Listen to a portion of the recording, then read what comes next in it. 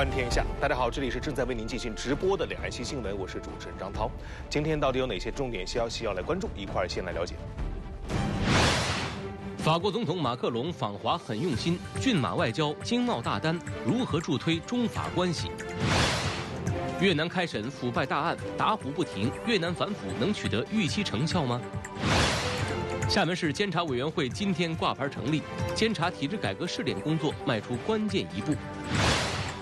民进党力推所谓劳基法修正案，完成所谓三读。台湾劳工撒明纸抗议，对抗戏码还要演多久？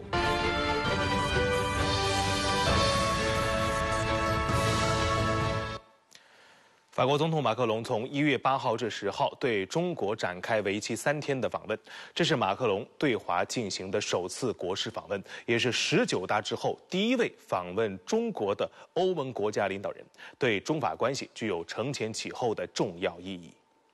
国家主席习近平九号在人民大会堂北大厅为法国总统马克龙举行仪式，共同检阅三军仪仗队，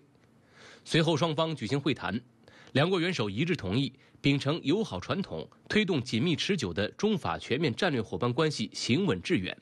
在会后的联合声明中，中法两国强调愿推进“中国制造 2025” 与法国未来工业计划对接。法方重视在“一带一路”框架下增进两国合作。今天上午，法国总统马克龙参与气候转变圆桌论坛。马克龙此前表示，希望与中国在气候问题上达成广泛的伙伴关系。他还在网上晒出自己谈及气候变化问题时用中文说“让地球再次伟大”的视频，令中国社交媒体的用户异常高兴。访问期间，马克龙还向习近平赠送了一件有新意的礼物——法国共和国卫队马，这也是对中方熊猫外交的友善回应。除了赠马，访问期间，马克龙还多次表达他致力于法中友好的努力。他在西安承诺每年至少访问中国一次。访华首站选择古代丝绸之路起点的西安，也被外界解读为意在表明法国将比以往更加积极地参与“一带一路”的具体项目。中国国际问题研究院欧洲研究所所长崔洪建称，从这些细节可以看出，马克龙和法国政府对法中关系很用心，骏马外交将对未来两国处理分歧或问题能够有所注意。法新社则对马克龙中国行评价称，将自己定位为欧盟代言人的马克龙带着雄心勃勃的议程访华，法国尤其寻求重新平衡与中国的关系。马克龙不仅倡导法国、欧洲与中国建立一个新联盟，还将重点放在经济议题上。两国预计将签署五十项协议及合同，尤其是在民用核能以及航天方面。马克龙这次访华也签下了大单，虽然无法与早前美国总统特朗普访华时中美达成的两千五百亿美元贸易协议相提并论，但是此次法国也拿到了总价值上百亿欧元的贸易协议。未来中法如何利用这些大项目来进一步深化双边贸易关系呢？请严月为我们带来梳理。严月。域的合作要追溯到三十多年前，中法开启了核电合作，着手建设广东大亚湾的核电站。三十多年后的今天，作为中法能源领域最大的合作项目，广东台山核电站有望成为全球最早投入商业运营的第三代核电站之一。这次法国电力还将与中国广核集团共同开发、建设和运行两台先进的 EP 二反应堆，预计二零一九年就可以投入运行。法国电力还分别与海南三亚市政府、河南灵宝市政府签署了能源服务领域的合同，这也标志着法国电力集团进一步的巩固了其在中国市场的地位。同时，中法还签订了核研发技术与合作协议，比如法国能源巨头阿海发集团和中国核工业集团就签订了斥资一百亿欧元，在中国建一座核乏燃料处理工厂的谅解备忘录。中法还在航空、农业、电商等方面展开了合作。就像是厦门航空与法国赛峰集团签订一百五十台发动机采购及二十台发动机大修备忘录，总价值约二十亿美元。空中客车公司也与中方签署了合作备忘录，将扩大空客天津 A 三二零系列飞机的亚洲总装线产能。此外呀，中法还成立了一个中法企业家委员会，成员是涵盖了先进制造、农业食品、生物医药、金融服务等各个领域。像中国在线的零售商京东就宣布。计划在今后的两年内向中国的消费者销售价值二十亿欧元的法国商品，包括了高档的红酒。那么中国啊，也将在半年内对于法国的牛肉进口完全解禁。中法大单就像全面开花一样，就如同习近平在八号第一次会见马克龙时所说的那样，新时代中法关系大有所为。以上就是我的梳理，再把时间交给张涛。好的，非常感谢。再来关注一下朝鲜半岛。韩国和朝鲜九号在板门店就高级别会谈，双方发布共同声明，就朝方参加平昌冬奥会、双方举行军事部门会谈等事项达成一致。双方强调将举行各领域会谈，通过对话协商解决问题。根据双方发布的共同声明，朝方将派遣高级别代表团和民族奥林匹克委员会代表团参加平昌冬奥会。此外，朝方还将派遣运动员团、啦啦队、艺术团、记者团等团体访韩，韩方对此提供必要的便利。双方还决定举行会谈，商讨有关朝方派遣先遣队提前踩点和参加平昌冬奥会等相关问题。日程将在此后以文件交换形式进行商讨。韩朝还就缓解当前军事紧张局势达成一致，并决定举行韩朝军事部门会谈。双方表示，韩朝将共同努力缓解军事紧张，构建朝鲜半岛和平环境。双方表示，将促进韩朝多个领域的接触和往来、交流与合作，寻求民族和解与团结。双方作为朝鲜半岛问题的当事方，通过对话和协商解决问题。此外，韩国统一部在九号还表示，韩国和朝鲜当天决定自首尔当地时间十号八点，也就是北京时间七点开始重启在朝鲜半岛西部海域地区，也就是黄海军事通信线路。目前，南北军事部门可以通过黄海军事通信线路进行通话。另据韩联社消息，韩国总统文在寅十号上午在青瓦台迎宾馆举行新年记者会时表示，不奢望朝韩立刻统一，希望能在任期内解决朝核问题。针对朝韩高级别会谈取得的积极成果，中国外交部发言人陆康表示，朝鲜半岛形势异常严峻之际，北南双方能够相互伸出释放善意之手，并握在一起，这值得鼓励。我们也希望北南双方能够以平昌冬奥会为契机，推动。改善相互关系和和解合作的努力，呃，那么能够从而推动为缓和半岛局势，呃，推动半岛问题的解决重回对话协商这个正轨，呃，做出积极努力。越共十二大以来反腐第一大案近日在河内市人民法院开审，包括越共中央政治局原委员胡志明市委原书记丁罗生在内的二十二名嫌疑人出庭受审。分析人士指出，这一案件是越南过去一年来反腐风暴的延续，显现越共作为执政党保持自我洁净的决心和行动力。近日，越共十二大以来反腐第一大案在河内市人民法院开庭，包括越共中央政治局原委员丁罗生、油气安装股份总公司原董事长郑春清在内的二十二名被告出庭受审。据越通社报道，因案情复杂，此案庭审预计需要两周。郑春清受到故意违反国家经济管理规定造成重大损失和侵吞财产两项罪名指控，丁罗生受到前一项罪名指控。如罪名成立，郑春清可获死刑，丁罗生则面临最高二十年监禁。越南检方指控丁罗生在执掌越南国家石油和天然气集团期间，对下属越南油气安装股份总公司经营不善、侵吞公款等现象负有主要责任。调查发现，丁罗生一手提拔的子公司董事长郑春清，在一个火电厂项目中违规操作，造成国有资产损失五百五十万美元。后者还被指控伪造文件、贪污十八万美元公款。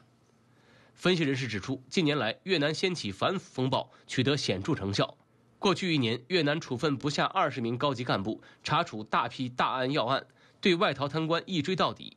丁罗生落马在越共历史上前所未有，显现越共中央刮骨疗毒的决心。更多的消息来看一组简讯。当地时间一月九号清晨，南非豪腾省杰米斯顿市一车站内发生两列火车相撞事故，造成两百二十六人受伤，目前尚无人员死亡的报告。一月九号，叙利亚首都大马士革多地遭叙反对派武装炮弹袭击，造成至少五人死亡，三十多人受伤。位于瑞士南部的知名滑雪胜地采尔马特连日来受到暴雪袭击，暴雪造成该地区与外界的交通全部中断，目前滞留旅客人数已达一点三万人。下面休息一下，回来以后继续看新闻。欢迎回来，这里是正在为您进行直播的两岸新新闻。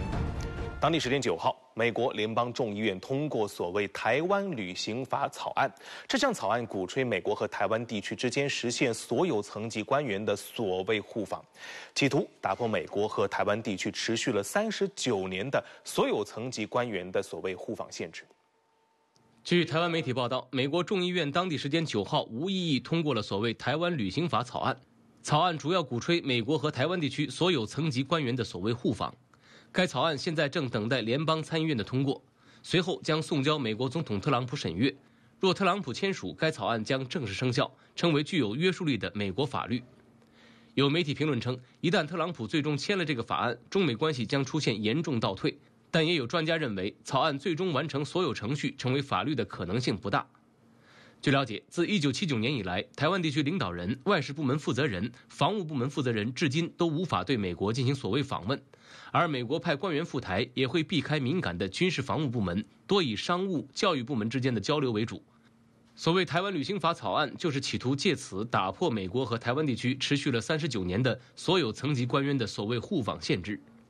早在去年十月，美国国会众院外交事务委员会就提出了该草案，当时就遭到了中方的强烈反对。外交部发言人华春莹此前就曾敦促美方慎重处理台湾问题，不与台湾地区进行任何官方往来和接触，不向台独分裂势力发出任何错误信号，以免干扰和损害中美关系大局。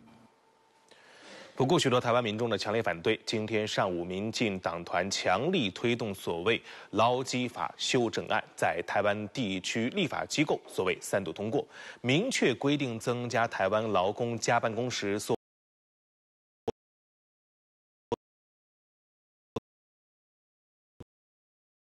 县市长选举中将用选票说话。从昨天下午开始，台湾地区立法机构经过十八个小时的不断电表决，在今天上午八点四十四分，以所谓三读的形式通过所谓劳基法修正案。未来岛内劳工每个月的加班时间增加八小时，轮休间隔也从十一小时缩短为八小时。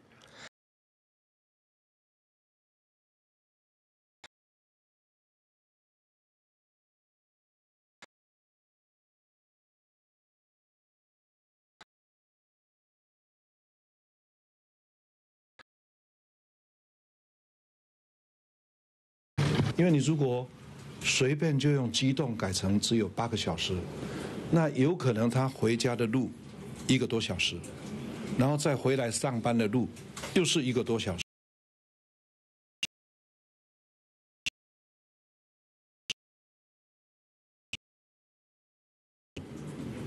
的状况。台湾地区行政管理机构负责人赖清德声称，已经与各政党做了充分沟通协商。国民党民代认为，民进党团不断电表决过程中，不少民进党民代趴在桌子上睡觉，根本就是在睡觉中通过的所谓修正案。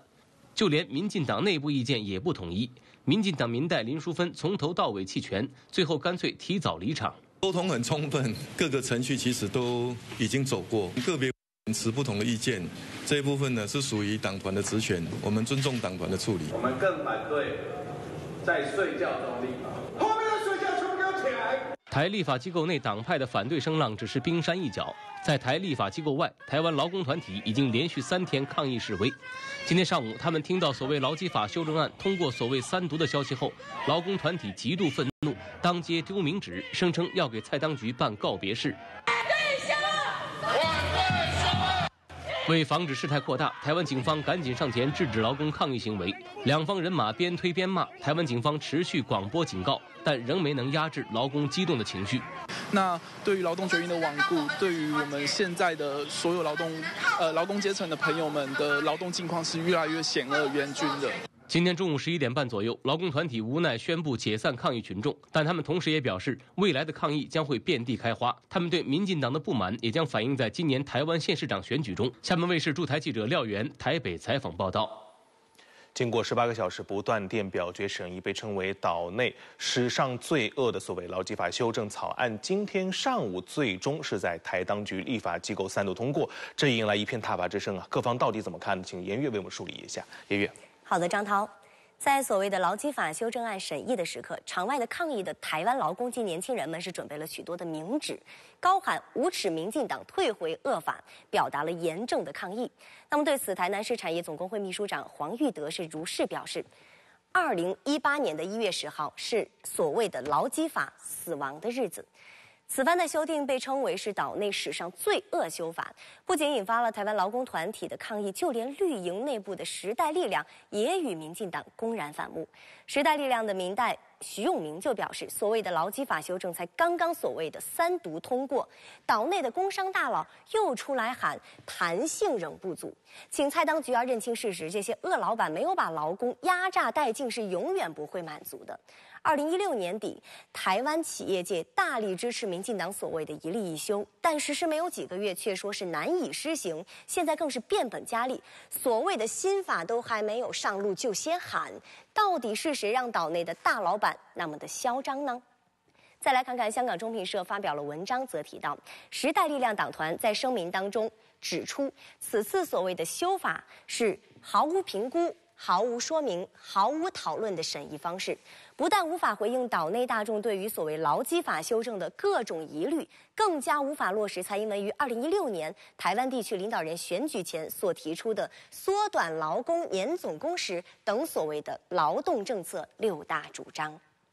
另外呀，就连青绿学者也是看不下去了。台湾东华大学教授施正峰对此是这样表示：“海水退了，才知道谁没有穿裤子。”那么，如今主政的蔡当局将竞选时的政见抛诸脑后，长期与民进党站在一起的劳工、党内岛内街头运动团体将会很失望。以上就是我了解的情况，再把时间交给张涛。好的，非常感谢。在今天上午，国民党召开挺青年记者会，称。要改变策略，从关注政治议题转向关注岛内社会议题，并要以年轻人乐于参与的方式吸引他们加入国民党。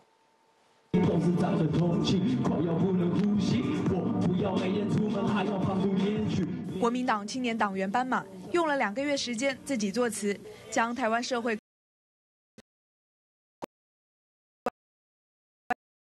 要生活在台湾，对台湾空气质量下降深有感受。希望用这种方式鼓励更多年轻人关心岛内社会议题，不一样的议题去反映社会，这样也是比较贴近年轻族群啊。因为嘻哈不是一种文化，它是一种力量。在挺青年记者会上，国民党青年部主任翁少辉表示，去年十二月，青年部发起以空气污染为主题的系列活动，未来他们还将针对青年反。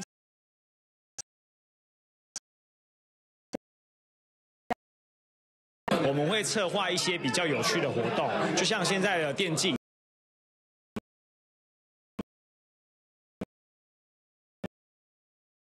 我们会积极的以这些为切入，而不是直接去诉诸说我们要去做一些政治目的，不是说我们希望拉你进国民党，而是希望说呃你来参与我们活动，慢慢的感受到国民党在改变。长得又帅又有创意啊，又有能力，这就是青年部就是要这样发展。为表达挺青年的决心，国民党主席吴敦义上午也出席了活动。他表示，国民党要立即改变，去除不对年轻人胃口的习惯作风。他还感慨称，年轻人是国民党的重要伙伴，如果丢掉了他们的支持，就不只是可惜可叹了。要你这个党的朝气跟活力，让年轻人觉得对味，味道对了。第二个。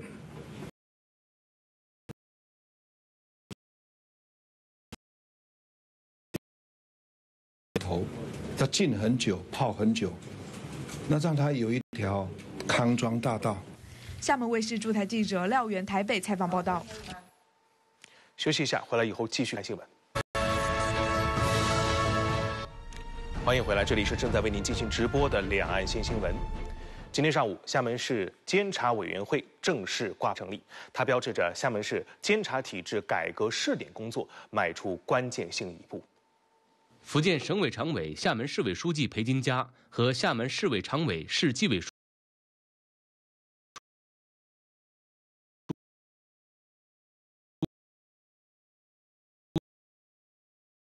纪检监察两项职责。根据内涵发展、盘活存量、精简高效的原则，按照职责分工通盘考虑，在厦门市纪委原有十五个内设机构基础上，新设五个纪检监察室，着重增强一线工作力量。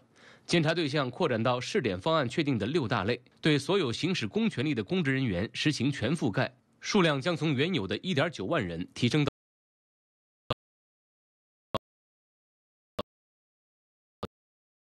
专家在会上指出，深化国家监察体制改革是以习近平同志为核心的党中央着眼加强党对反腐败工作统一领导确立的一项重大政治改革，是党的十九大作出的重大战略部署。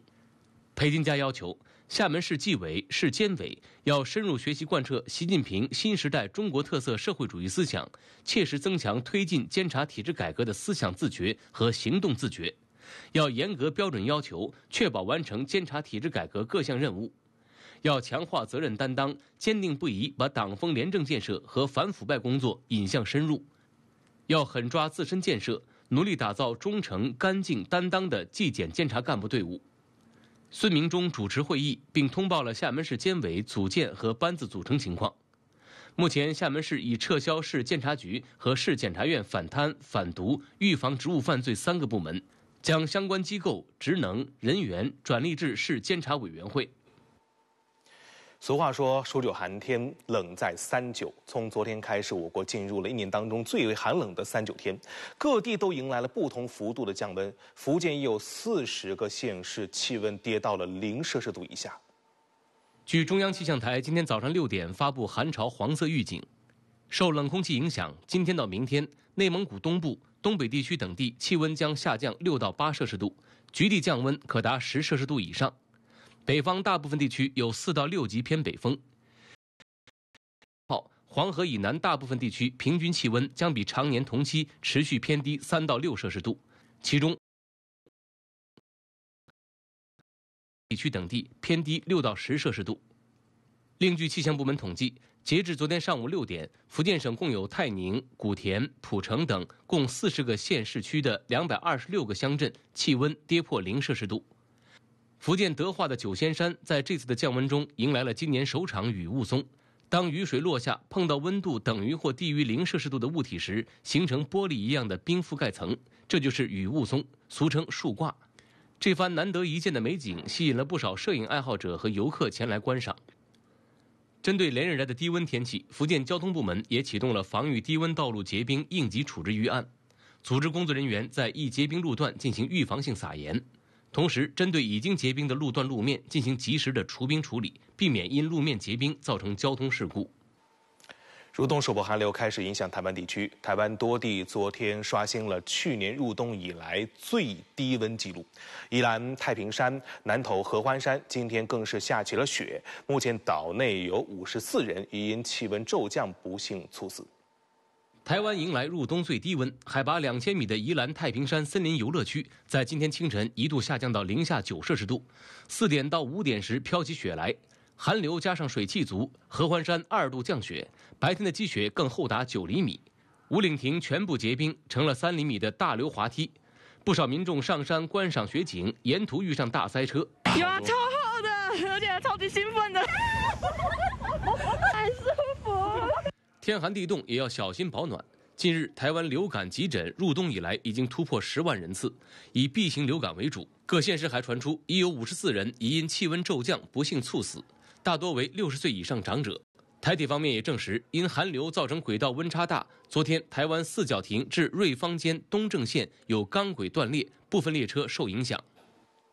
厦门卫视二零一八两岸元宵戏曲晚会正在紧张筹备中。作为晚会重头戏之一的，由著名歌唱家郑绪岚和京剧梅派嫡传弟子胡文阁共同演绎的京剧改编版《鼓浪屿之波》，昨天在北京完成录制。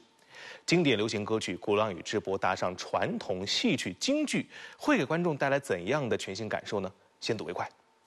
海水鼓起波浪，一曲《鼓浪屿之波》流行传唱三十多年，经久不衰。歌曲原唱者著名歌唱家郑绪岚称，《鼓浪屿之波》与他有着不解之缘，承载着一代人的青春记忆。这次参与京剧改编的再创作，也让他感叹太不可思议。就说要跟京剧呃要要搭一下，我想象不出来，呃能是怎么样的一个一个效果，啊，结果呃直到我听到了这个嗯伴奏，我听了以后，哎，觉得挺有意思啊，搭的挺好，挺好。我想，呃，观众嗯听了这首歌呢，也会有一种特别新鲜的感觉。此次《鼓浪屿之波》京剧版改编，邀请的是青年作曲家、中国新生代先锋音乐制作人袁毅担当制作。袁毅担任过第二季《中国好声音》巡演音乐总监，国内首部大型戏曲真人秀《国色天香》音乐总监。众多经典曲目改编获得观众好评，而这次混搭京剧，他坦言是新尝试，也是挑战。将我们的歌声。与我们的京剧作为两个时空、两个平行的这个平行的这个空间，来这样的一个艺术手嗯艺术展现形式，让两者有一个完美的一个嫁接。在编曲上，我们融入了很多这种 New Age 世界音乐的这样的一个元素，嗯嗯，突破了传统的这个这这个歌，甚至在音色上，我们用了很多调制的声音去往里去融合，那这是完全不一样的。京剧改编版的《鼓浪屿之波》由著名歌唱家郑绪岚和京剧梅派嫡传弟子胡文阁共同演绎。目前歌曲已经进入最后合成制作阶段，将在二零一八两岸元宵戏曲晚会上与观众见面。同时，戏曲晚会还将发掘一组具有浓郁闽台特色，在两岸及东南亚地区拥有一定影响力的非遗戏曲项目，与流行艺术进行跨界混搭。经典的东西也要与时俱进，也要。把它加加入时时代的这种步伐的这种这种速度和这种感觉，让它不会让人觉得哎呦老掉牙了。这个让它更注入新鲜的血液。厦门卫视记者李小平、许庆平北京报道。更多的消息，再来看一组简讯。近日，我国流感活动水平上升较快。国家卫计委表示，今冬流感高发，除气候异常外，主要因为今年流行的优势毒株已多年未成为优势毒株，导致人群缺乏免疫屏障，易感人群增多。但病毒未发生变异，未产生新耐药性，医疗机构应保证抗流感病毒药物及时足量供应。国防部征兵办公室日前下发关于做好2018年征兵准备工作的通知，全国征兵网于一月十号正式开通，全面展开网上兵役登记、应征报名和政策咨询等各项工作。国家发展改革委办公厅、中国人民银行办公厅日前印发关于印发首批社会信用体系建设示范城市名单的通知，明确杭州市、南京市、厦门市等十二个城市为首批社会信用体系建设示范城市。中国数字娱乐产业年度高峰会今天在厦门举行。数据显示，二零一七年国内手游市场上线了一万六千多款新品，但真正为人所知的不足百分之一。移动游戏已经进入了精品化时代。以上就是今天两岸新新闻的全部内容，感谢您的收看，明天同一时间咱不见不散。